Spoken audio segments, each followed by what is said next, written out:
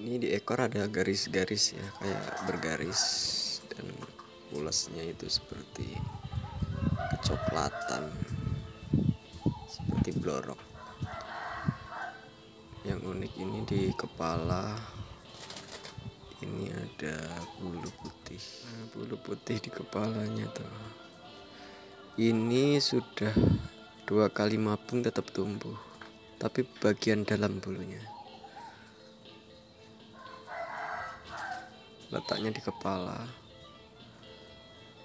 bagian atas